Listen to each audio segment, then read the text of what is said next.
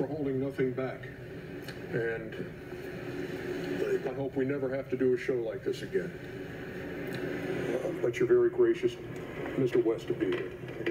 And um, we wish you the best in the Laker, and we wish the best to the, to the Laker organization too as they deal with this. And this was, the more we stand here, the more we sit here, the more we realize that was a good decision. Ernie, It'd be very hard to play a game tonight. you're right, Ernie. And also, man, I, like I say, I want to give my best to Kobe's parents and, and everybody, all the everybody else who's lost in the crash.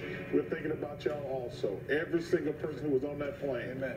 Amen. And now we head to Miami, and we'll see you at halftime.